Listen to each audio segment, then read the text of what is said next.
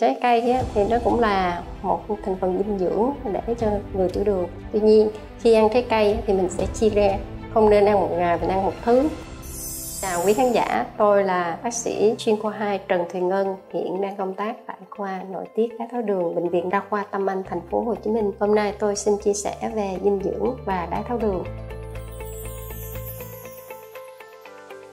Trái cây đối với người tiểu đường thì cũng rất là cần thiết. Vì thứ nhất, trái cây nó sẽ cung cấp cái lượng chất xơ, sẽ làm cho cái lượng đường của mình sẽ ổn định. Cái thứ hai là nó cung cấp các vitamin như là B, C. Ngoài ra các chất chống oxy hóa sẽ làm chậm cái sự lão hóa đi, hoặc là các khoáng chất như là kẽm đồng vân vân để làm tăng cái sự trao đổi chất nó tốt hơn ngoài ra nó còn cung cấp thêm một cái phần năng lượng vì trong trái cây nó có chất đường hoặc là đạm hoặc là protein lipid Tuy nhiên, bạn lựa chọn những cái trái cây có là chỉ số đường huyết trong máu thấp à, như là bưởi, ổi, cam, thanh long.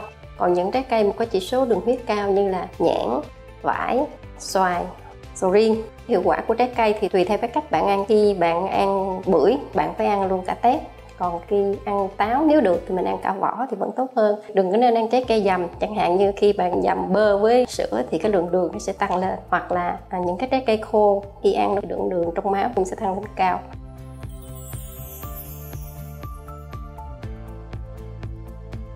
Trái cây á, thì nó cũng là một thành phần dinh dưỡng để cho người tiểu đường chẳng hạn như là một ngày ăn để tùy thuộc vào thứ nhất là về chiều cao cân nặng bạn lao động nặng nhẹ hay trung bình thì mình sẽ có cái số lượng nó phù hợp tùy thể trạng. Chẳng hạn như bạn có thể ăn một ngày từ 2 tới 3 lần bạn nên ăn trước bữa ăn hoặc là cách sau bữa ăn 2 giờ hoặc là ngay khi trong bữa ăn. Không nên ăn sau bữa ăn để tránh làm cái đường huyết trong máu nó tăng lên.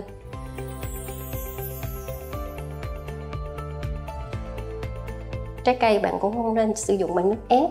Vì khi đó là bạn sẽ làm mất cái chất xơ thì các chất xơ thì cần rất cũng quan trọng cho người tiểu đường.